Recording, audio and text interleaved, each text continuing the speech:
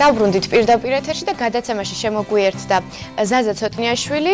როგორია მედიის როლი კონფლიქტების გაშუქების საკითხებში? ამ თემაზე ვისაუბრებთ სტუმართან ერთად. გამარჯობა, მოგესალმებით ბატონო ზაზა. დილომშვიდობისა ბატონო ზაზა. ბატონო ზაზა გახოთ განათლების სახლის დამფუძნებელი კავკასიის საერთაშორისო უნივერსიტეტის პროფესორი.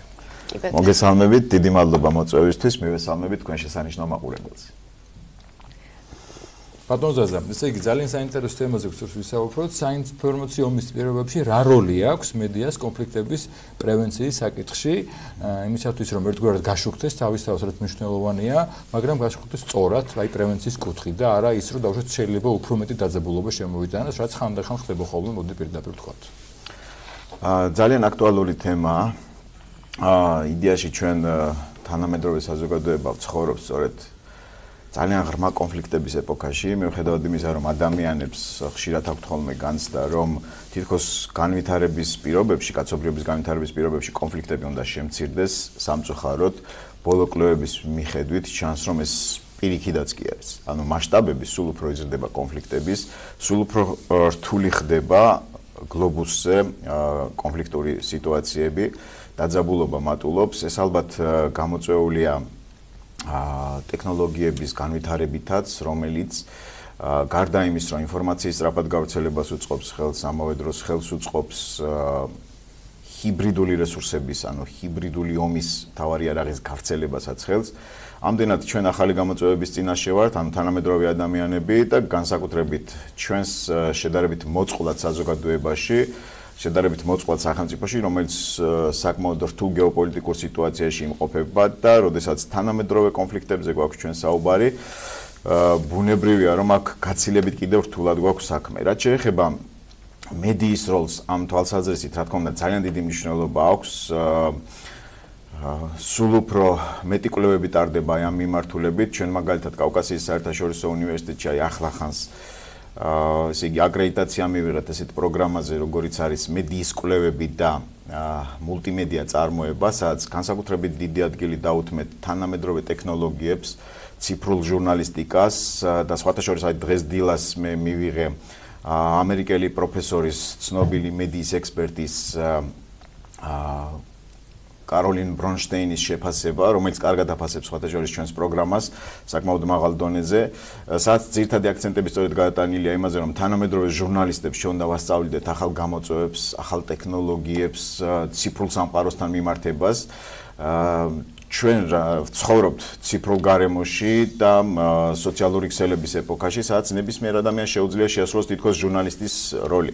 მაგრამ როდესაც არის პრობლემა, განსაკუთრებით დიდი პრობლემა, მაშინ არის სწორედ დიდი გამოწვევა ჟურნალისტიკისთვის, ჟურნალისტებისთვის, ჟურნალისტიკის საგანმანათლებლო პროგრამებისთვის და ჩვენ ეს დავინახეთ იგივე ჩვენ საბაკალავრო და სამაგისტრო პროგრამებში და გამოდმებით ვავითარებთ აი ამ მიმართულებით სტუდენტებთან მიდგომას იმ თვალსაზრისით, რომ პროფესიონალიზმი უნდა გაიზარდოს სწორედ მედიის იმის გამო, რომ მოხდეს ობიექტური, სწორი და კვალიფიციური გაშუქება კონფლიქტების. თუ ეს არ იქნება კვალიფიციური დონეზე გაშუქებული, მაშინ საზოგადოება შეცდომაში შევა და თუ ეს იქნება კვალიფიციურად და სანდო იქნება მედია საშუალება, ბუნებრივია რომ ადამიანები სწორედ აი მედია საშუალებას გამოიყენებენ ინფორმაციის სწორად მისაღებად.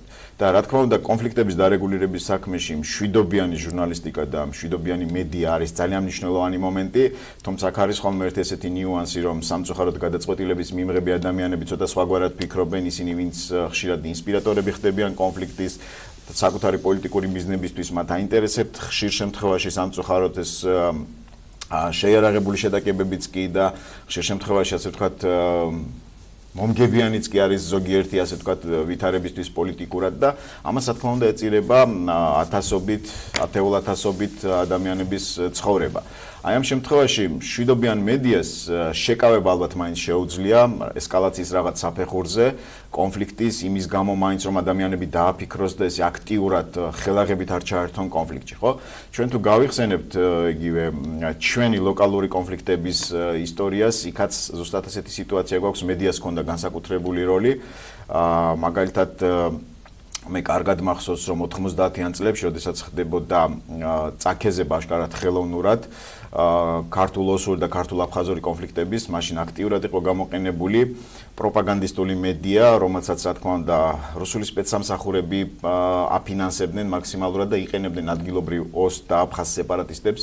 იმისათვის, რომ თითქოს არალეგალურად გამოსულიყო ისეთი მედია საშუალებები, სადაც გაშუქებული იქნებოდა ანტიქართული, ასე ვთქვათ, მოვლენები გასული პერიოდიდან. ანუ აქცენტები კეთდებოდა ქართულ ოსურ, ქართულ აფხაზურ ისეთ ურთიერთობებზე, თქვენ გახსოვთ დამოუკიდებელი საქართველოს პერიოდში, რომ ასევე სეპარატისტული განწყობილებები იყო სოხუმში და ცხინვალში და მაშინ დამოუკიდებელმა საქართველოს შეძლო თავი გაართვა და მართლაც დაამყარა წესრიგი საქართველოს ტერიტორიაზე. ეს ალბათ სხვა პოლიტიკური ვითარებიდანაც იყო გამოწვეული, იმიტომ რომ მაშინ ნაკლებად ეცალა ლენინს და სტალინს საქართველოსთვის და სხვა პრობლემებით იყო რუსეთში დაკავებული და ამანაც შეუწყო ხელი იმას რომ დამოუკიდებელმა საქართველოს მაშინ ტერიტორიული მთლიანობა შეინარჩუნა.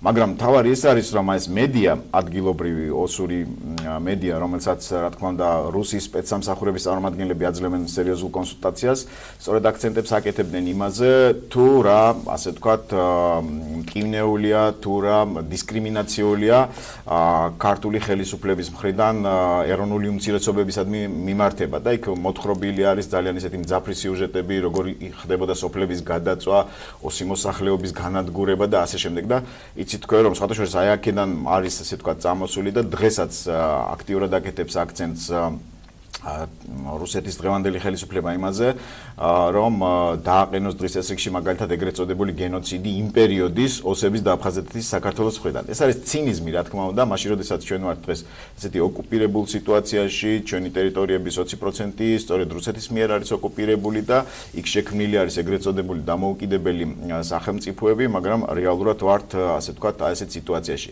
სწორედ ეს მიანიშნებს იმაზე, რომ ძლიერი პროპაგანდისტული მანქანის მქონე სახელმწიფოები და სპეცსამსახურები ბუნებრივია მათთვის სასარგებლო პოლიტიკურ ნაბიჯებს დგავენ. ამ ყველაფერს იყენებენ მხოლოდ და მხოლოდ იმისთვის, რომ მათი პოლიტიკური ინტერესი იყოს მაქსიმალურად გატარებული.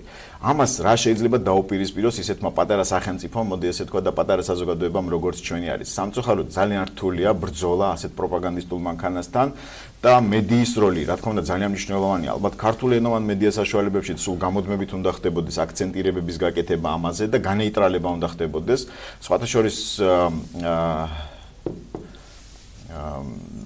თანამედროვე სოციალურ ქსელებში საკმაოდ აქტიურად გამოჩნდა ბოლო დროს სწორედ პროპაგანდისტული მასალის გამანეიტრალებელი გვერდები, სადაც დასაბუთებულად ხდება ასეთი მასალის ასე თქვათ განხილვა და შემდგომ გავრცელება მოსახლეობისთვის, მაგრამ ეს საკმარისი არ არის.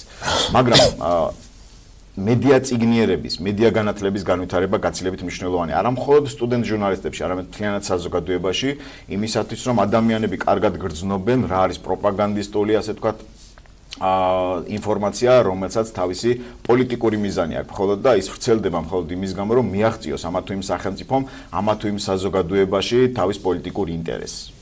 როგორ შეიძლება რომ მედია გახდეს ხიდი ამ ურთიერთობების დამაბალანსირებელი და გასანეიტრალებელი? რა როლი ეკისრება ამ შემთხვევაში მედიას?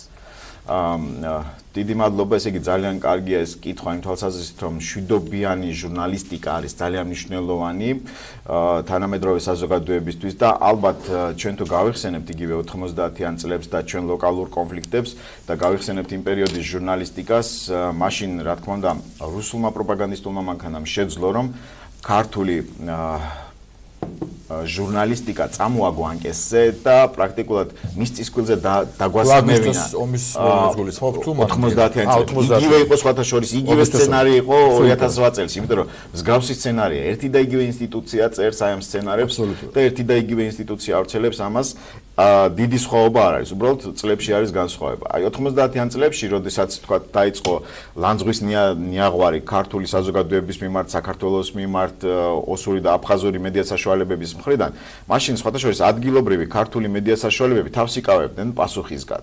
მაგრამ ცენტრალური ქართული მედია საშუალებები მაინც წამოეგნენ ამ ანკეს და იქ რა თქმა უნდა უძღებიშვილის როლში ჩააყენეს ოსური და აფხაზური საზოგადოება და უთხრეს და ახსენებდნენ მათ თუ როგორ ზრუნავდა ქართული საზოგადოება მათზე და თუ მათ როგორ არ დააფასეს ქართული სახელმწიფოს საუკუნეების განმავლობაში მზრუნველობა ეროვნულ უმცირესობებზე. ეს რა თქმა უნდა ძალიან კარგი ტონი იყო, მაგრამ ეს ტონი შემდგომ გადავიდა მაინც დაპირისპირებაში, კონფლიქტში, კონფრონტაციაში, იმიტომ რომ იყო პასუხები იმ ხრიდანაც, ამ ხრიდანაც და შემდგომ მაინც ანუ საერთო ჯამში კონფლიქტს ახასიათებს ესეთი რაღაც, ანუ ხდება ესკალაცია. ანუ ძალიან მარტივი საბაბით შესაძლებელია მედიაში, ასე ვთქვათ, ერთმანეთის პასუხებით მივიღოთ ძალიან რთული შედეგი და ძალიან რთული სიტუაცია და რა თქმა უნდა ეს რთული სიტუაცია იყო ქართული, ოსური და აფხაზური საზოგადოებისთვის და ერთადერთი ვინც მოგებული იყო ამ სიტუაციაში იყო ის იმპერიული განწყობილების ძალა, რომელსაც სწორედ გათიშე დაიბატონესურდა ჩვენ ტერიტორიაზე და მან ამ მიზანს მიაღწია.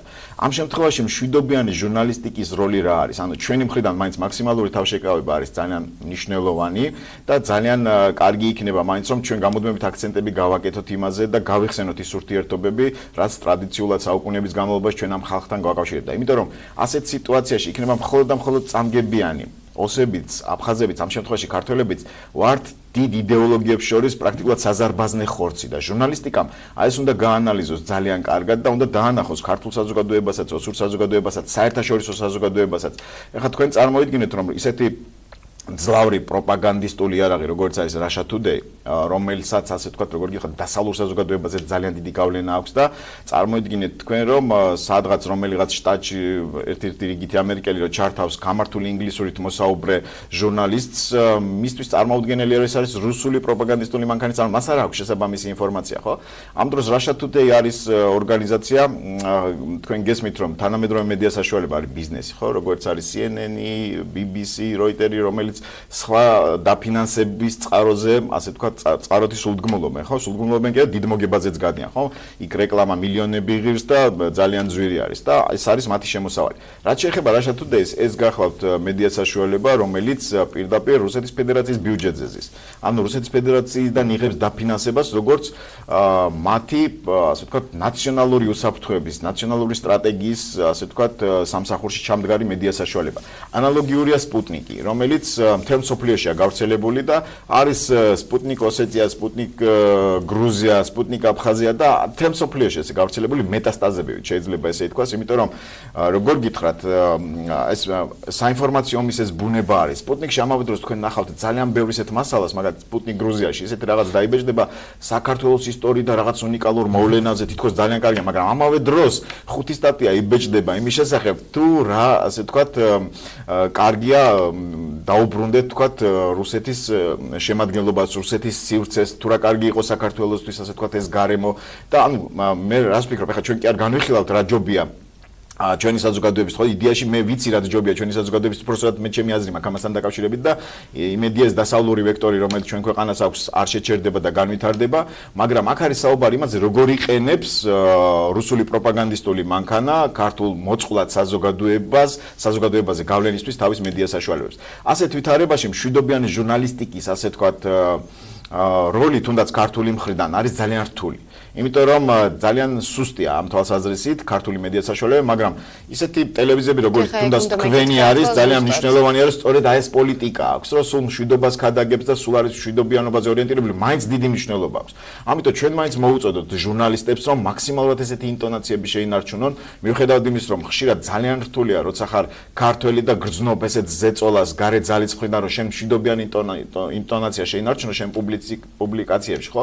ისე ძნობ ბევრი ქართველი ჟურნალისტი წერს მაგალითად საერთაშორისო მედია საშუალებებისთვის და მე ვიცი რომ მათთვის ძალიან რთულია ხოლმე ასეთი საომარ სიტუაციაში ობიექტურად და გაწონასწორებული სტატიები შექმნა, მაგრამ ისინი თავს ართმევენ აი ამ ყველაფერს და წერენ. ანუ ჩვენ მაინც მშვიდობიანი პოლიტიკა უნდა შევინარჩუნოთ და მოუწოდოთ ჩვენ ჟურნალისტებს მედია საშუალებებს რომ მაქსიმალურად მშვიდობიანი ინტონაციები იყოს. ბატონო ზაზა, დღეს ამ რაღაცა სოციალური ქსელებისა და ინტერნეტის ეპოქაში ძალიან ხშირია და ძალიან ადვილია და შეიძლება ითქვას ესეთი ეფექტური ხანდახან ინფორმაციის გავრცელება და დიდ გავლენას ახდენს. ამ ფონზე რა როლი აქვს ყალბი ინფორმაციის ეგრეთ წოდებული fake news-ების გავრცელებას და ამ ზოგადად აცნებას? დიახ. შეიძლება ითქვას, რომ ესე იგი ყალბი ინფორმაცია ეს ახალი არ არის. ანუ იგივე ჭორის მოგონება, გავრცელება ცნობილი არაღი არის და როგორ გითხრათ, შესაბამისი სპეცსამსახურები, განსაკუთრებით რუსული სპეცსამსახურები ამას ამკვიდრებდნენ წლების განმავლობაში და ჩვენთანაც კგბ-ს ცნობილი კგბ-ს ჩვეულებრივი სტილი არის, აი ადამიანი არ მოწონდა იმ ადამიანზე ვრცელდებოდა ეს შორის სხვადასხვა კულუარულად და ასე შემდეგ და ასე შემდეგ. დღეს, რადგან ტექნოლოგიები შეიცვალა, იგივე სტრუქტურა ამას იყენებს შესანიშნავად. შესანიშნავად რა თვალსაზრისით, რა თქმა უნდა, ბჭყალებში, მაგრამ აზიანებს საზოგადოებას. Fake news-ის დადგენა, როგორ გითხათ, აი ცუდი ამბის გავრცელება არის ადვილი. ცუდი ამბარის ბუნება ცუდი ამბის რა, ვრცელდება ძალიან მარტივად რა. პირდაპირ ადამიანებს სათაურს დააწერ თუ არა, შევალთ ყველა და ვნახავთ იქ რა ხდება რა და ცუდი ამბის გავრცელებას ანუ ხშირ შემთხვევაში იყენებენ არამხოლოდ პოლიტიკური მიზნების გამო, ესე იგი, ხშირად მედია საშუალებები თავისი პოპულარიზაციის გამოც კი იყენებენ, მაგრამ ეს ცოტა სხვა თემა. მაგრამ კი, კი, რეიტინგს წერენ აი ამ fake news-ებით, რაც მე ვფიქრობ არაეთიკურია და ძალიან ცუდია და უნდა მოუწოდოთ ასევე მედია საშუალებებს, რომ ეს არის მოკლე ნახტომი, რომელიც დამთავრდება ცუდად, ხო? მაინც ტყუილს მოკლე ფეხები აქვს. იდეაში ეს მაინც მუშაობს. თუმცა fake news-ის ეს ბუნება რომ სწრაფად ვრცელდება და სადღაც ვიღაცის გონებაში მაინც ილექება, ეს არის მათი მომგებიანი, ასე ვთქვათ, პოზიცია. როგორ არის ესე იგი თეორიაში ანუ მედია ტექნოლოგიებში? გავრცელება კი ხდება სწრაფად და მარტივად მაგრამ მისი განეიტრალება ჯდება ძვირი და საკმაოდ დიდი დრო ჭირდება. თუმცა ნეიტრალდება დროის რაღაც დისტანციაში. მაგრამ თქვენ წარმოიდგინეთ, როდესაც ესეთი ძლავრი მანქანები ამ fake news ავრცელებენ, მე საჭიროა ანალიტიკური ჯგუფი დაждდეს, დაასაბუთოს, ანუ შენ პირდაპირ ვერ იტყვი, რომ ეს არის ტყუილი. შენ ეს უნდა დაასაბუთო, უკვე საზოგადოებას პირველი ინფორმაცია აქვს მიღებული და ადამიანის ცნობიერება ესეთია, რომ პირველი გაიგო, ადამიანს ეხა თუ მაინც და მაინც მის ინტერესში არ შედის, ფიქრი როგორც წესი მაინც და მაინც ასე ვთქვათ ამაზე ეს რესურსი დახარჯოს ფიქრისთვის დრო და სხვა რაღაც არ გააკეთებს და გაიგო ინფორმაცია მიიღო თუ სასაცილოა გასართობია ანუ ვიღაცისთვის რაღაცა მიმზიდველია უბრალოდ გაავრცელებს ამას და დამთავრდება მაგით და გააშიარებს ან გააზიარებს როგორც თანამედროვე სოციალურ მედიაშია ხო ეს მიღებული. აი სწორედ აქ არის კიდევ დიდი პრობლემა fake news-ებთან დაკავშირებით მისი გავრცელების გავრცელებასთან დაკავშირებით და სოციალური ქსელები ამის სამწუხაროდ ძალიან კარგი ასე თქვა ნიადაგი აღმოჩნდა რომ fake news-ები ადვილად ვრცელდება, ხო? ესე იგი, გასართობად რეიტინგისთვის, ხო, ყველა ამას აკეთებს. მაგრამ სწორედ აქ არის სამაგეროთ ახალი გამოწვევა აკადემიური და კარგი ხარისხის მედია საშუალებებისთვის, რომ მათ ეს შეძლონ. განეიტრალონ და უპასუხონ ამ პროპაგანდისტულ თუ fake news-ებს იმისათვის რომ ადამიანები თუ შეხვდებიან ასეთ ასე ვთქვათ სათაურებს რომელიც აშკარად სენსაციურია და შეიძლება ის fake იყოს იქ კი არ შევიდეს და იქ კი არ ნახოს. არამედ შევიდეს სხვა იმ სანდო მედია საშუალებაში.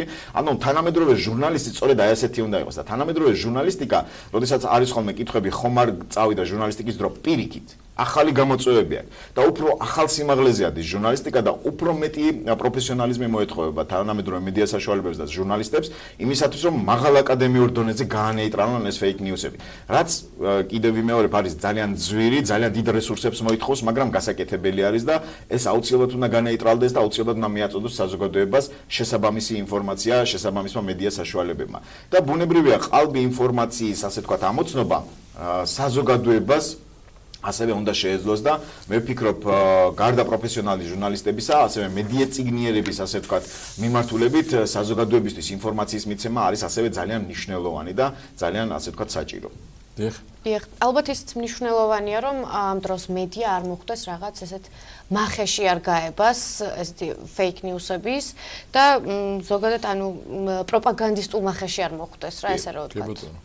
ესე იგი სწორედ ეს არის პროფესიონალი ჟურნალისტი და პროფესიონალური მედია საშუალება, რომ მახეში გაებას არ უნდა გაებას მახეში და პირიქით უნდა გადაამოწმოს რამდენიმე სანდო წყაროსთან და სწორედ ეს გადამოწმებული ინფორმაცია უნდა მიაწოდოს მსმენელს, მაყურებელს, მომხმარებელს, ვინც მას ენდობა. სხვანაირად ის ვერ იქნება საიმედო მედია საშუალება. ეს არის მთავარი გამოწვევა თანამედროვე მედია საშუალებების რომ კი, პირიქით ის პრაქტიკულად როგორ გითხრათ, აი ამ ჰიბრიდულ ომში, რომელშიც ჩვენ ცხოვრობთ, ხო, იდეალ ეს ომი უხმაურ უხმაურად მიმდინარეობს ჩვენს გარშემო და მედიას აქვს განსაკუთრებული მისია და ფუნქცია რომ ამ ჰიბრიდულ ომში ბრძოლის პირობებში მხარში დაუდგეს თავის საზოგადოებას და რეალური ინფორმაცია მივიდეს, გაფილტრული ინფორმაცია მივიდეს საზოგადოებამდე და არა რომელიმე პროპაგანდისტული მანქანის ჰიბრიდული არ არის. ის გავრცელებული ინფორმაცია, რომელიც მოდის ამ ასე ვთქვათ მედია საშუალებებიდან არის ჰიბრიდული ბომბები, რომელიც ჩვენ საზოგადოებას ხლეჭს და იწვევს საზოგადოების პოლარიზაციას. მათი დანიშნულება არის საზოგადოების გაყოფა, დახლეჭა და ჩვენი ერთმანეთზე დაპირისპირება. აი აქ უნდა ვიყოთ ერთიანები, ეს ცნობიერება უნდა გქონდეს მაქსიმალურად, რომ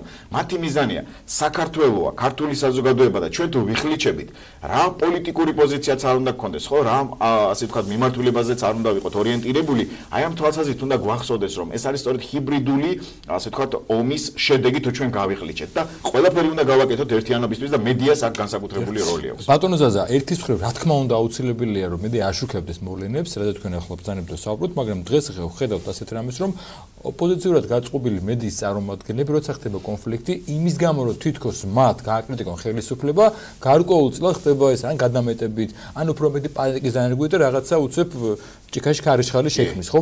ამ კუთხით რა როლი აქვს მედიას? ერთი მხრივ გააშუქოს იყოს ობიექტური, მაგრამ რა თქვენ ბრძანეთ რომ სვის წისქულზე არ დააცხას წყალი, იმიტომ რომ გააკრიტიკებს თავრობან ხელისუფლება, იმიტომ რომ მას არ მოწონს ის ხელისუფლება. თქვენ განწყობას აბსოლუტურად ვიზიარებ, მე პირდაპირ გეუბნებით, როგორც ასე თქვათ, მედიის მიმართულების, ასე თქვათ, აკადემიური პერსონალი, მე ჩემ ასე თქვათ ფუნქცია თვლი ხოლმე, რომ ჩემ მომავალ ასე თქვათ ჟურნალისტებს, ჩემ სტუდენტებს ყოველთვის უთხრა.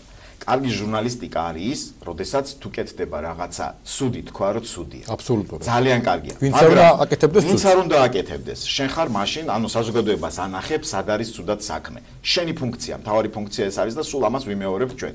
მაგრამ თუ შენ პოლიტიკური ინტერესის გამო მხოლოდ იმის გამო რომ შენ რომელიმე პოლიტიკური პარტიის პროპაგანდას ეწევი და ამის გამო მართლაც ჭიქაში ხარიშხალს ქმნი და საზოგადოებაში ისევ პოლარიზაციას იწევ, ისევ უწესრიგობას იწევ, ისევ გახლეჩას იწევ და დესტაბილიზაციას, რაც ყველაზე დიდი საფრთხეა ჩვენი საზოგადოებისთვის, ხო? განუვითარებლობა არის სწორედ დესტაბილიზაციის შედეგი. მე არა ვარ ესე იგი მომხრე იმის, რომ იყოს რაღაცა მოდუნებულ ასე ვთქვათ პირობებში ჩვენი საზოგადოება გარინდებული. არც ერთ შემთხვევაში უნდა იყოს პოლემიკა პოლემიკაც უნდა იყოს დისკუსიაც, ჯანსაღი დემონსტრაციაც იყოს, აქციაც იყოს, მაგრამ თუ საზოგადოების გახლეჩას ემსახურება მე ეს არის ჩვეულებრივი დანაშაული და ჩვეულებრივი არაეთიკური, ასე ვთქვათ, საქციელი და ჩემი აზრით ამასაც უნდა საზოგადოება გრძნობდეს შესაბამისი მედია ციგნიერების, ასე ვთქვათ, გათვალისწინებით. დიდი მადლობა ბატონო ზადა საინტერესო საუბრის. მინდა შეგახსენოთ, რომ მედიის როლზე კონფლიქტების გაშუქების საკითხებში გვესაუბრებოდა განათლების სახლის დამფუძნებელი კავკასიის საერთაშორისო უნივერსიტეტის პროფესორი ბატონი საზაცოტნიაშვილი მცირე ვიდეო რგოლის შემდგომ